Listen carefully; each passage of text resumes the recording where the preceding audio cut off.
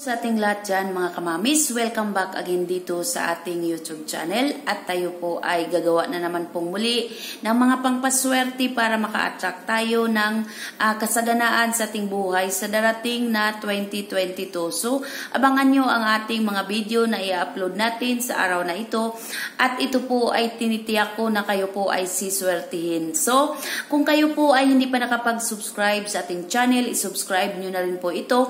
Pinutin ang ating red button sa baba ng ating video upang lahat ng ating video, kayo po ang unang ma-update nito at uh, uh, stay tuned para inyong malaman kung ano pa ang ating mga uh, isi-share ngayon na mga pangpaswerte.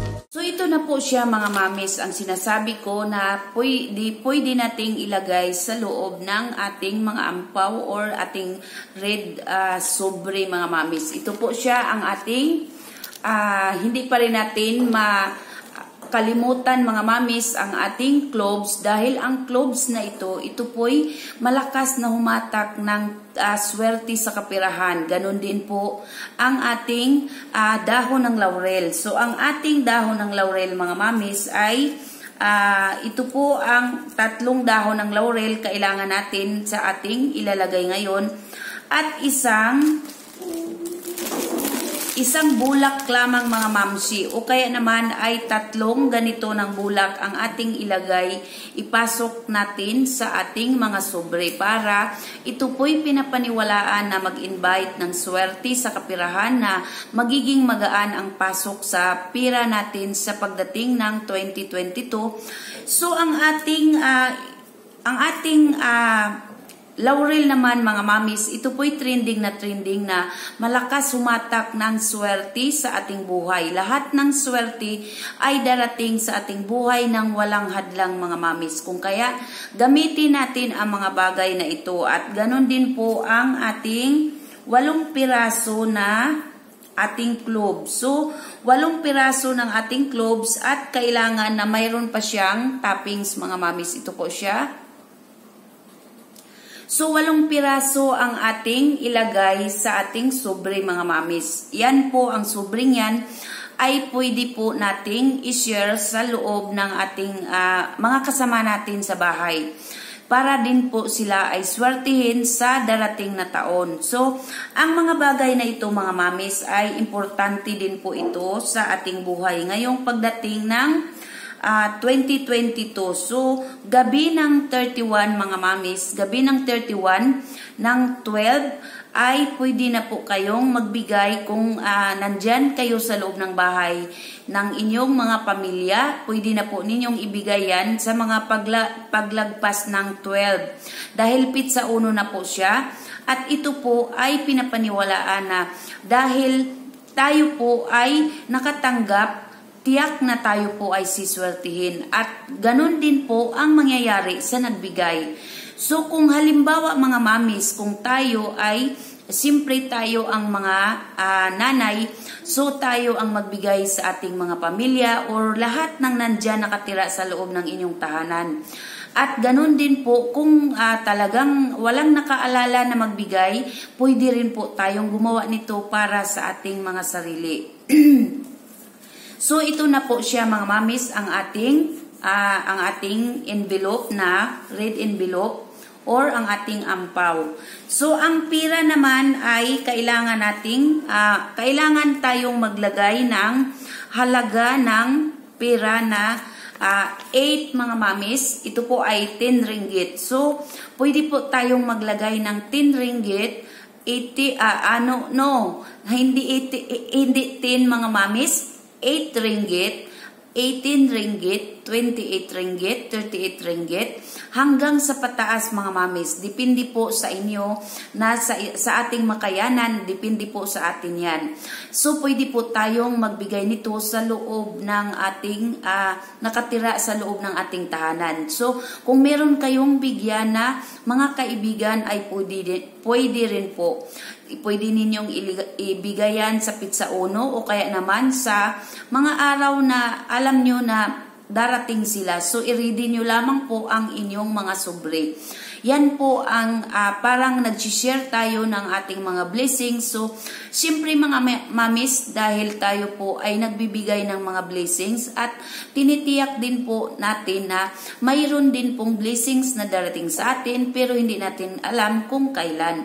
Yan lamang po ang napaka-importante mga mamis na mas maganda na ikaw ang magbigay kaysa ikaw ang bigyan. Pero kung merong magbigay mga mamis, yan din po ay wag din po ninyong tanggihan dahil uh, sinasabi na kapag tumanggi tayo sa binigay sa atin ng ating mga kaibigan, yan po ay uh, nagsisimbolo din po na tinat tumatanggi tayo sa grasya na dumarating sa atin. Kung kaya, kapag ka mayroong magbigay, tanggapin nyo lamang tanggapin nyo lang siya ng tanggapin. So, tayo rin po ay nakahanda rin pong magbigay mga mamis para uh, masasabing give and take tayo dahil sa Christmas nga or New Year, ito po ay pag, uh, pagtanggap natin ng mga blessings pa na darating sa atin. So mga mamis, ito po ay uh, ipapakita ko na sa inyo ngayon ang ating kung paano natin ilagay yung ating uh, 8 ringgit o kaya naman ay 18 ringgit. So, wala akong 5 ringgit. So, 18 ringgit ang ating ilagay sa ating ampaw. Ito po'y ini-example ko lamang po sa inyo mga mamis para kayo po dyan ay makagawa rin po ng mga uh, pinapaniwalaan nating bagay na ito po'y mag uh, a-attract ng pera sa ating uh, sa ating mga kabahayan mga mamis. Ito po siya ang ating 8 ringgit. 1, 2, 3, 4, 5, 6, 7, 8. So, isama natin ang ating 10 ringgit mga mamis. So, siya po ay magiging 80 na. So, ang ating paglagay ng ating pira mga mamis, kailangan na naka lagay po siyang ganito mga mamis. Pag bunot mo ng pera, ito na po ang inyong makikita, yung tao ng pera. So, ang ating gagawin ngayon ay ilagay natin dito ang ating mga uh, pangpaswerte, so pangpagaan ng pera na papasok sa atin. Katulad nito mga mamis, ilagay natin ito kasama ng ating bulak at ng ating uh, walong piraso ng ating cloves at tatlong piraso ng, da, uh, ng dahon ng laurel. So, ipagsabayin na natin ito mga mamis na ipasok. Ipasok natin ito para tayo po ay uh, maridi na natin yung ating mga envelope na ipamigay sa kung halimbawa mga mamis kayo po ay mayroong mga pagbibigyan nito.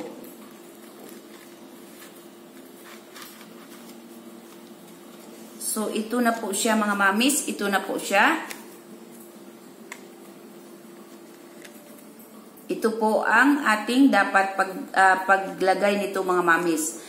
So, ilagay natin siya.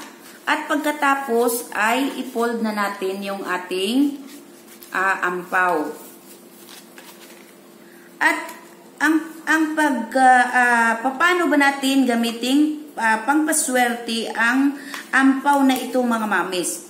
So ang ampaw na ito ay wag ito pong ating ipamigay mga mamis ay kailangan na uh, wag itong gamitin ang pera sa loob ng isang taon. Halimbawa ngayon magbigay tayo sa sunod na taon na bago ito buksan. So pwede nyo pong i-continue ang inyong ginagawa sa bawat New Year mga mamis sa New Year. So ito po ang ating paglagay nito, ilagay po natin ito sa ating wallet.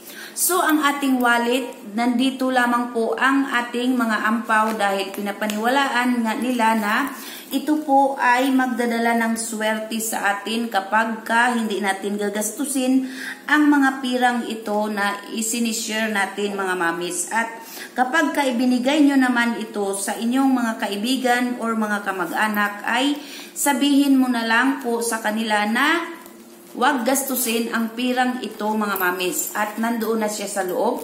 Yan po ang ating uh, mga pwedeng gawin sa ating mga ampaw at ito po'y tinitiyak na magdadala ng swerte sa kahit sino mang ating pagbigyan at katulad ng sinasabi ko, tayo po ay gagawa ng sarili natin kung walang magbigay, pwede rin po mga mamis. At hanggang dito na lang po tayo mga mamis. Sana po'y nagustuhan nyo ang video ito. At please like, share, and subscribe. At maraming salamat sa inyong lahat at sa mga nag-subscribe na. Maraming salamat sa inyong lahat and God bless po and thank you for watching.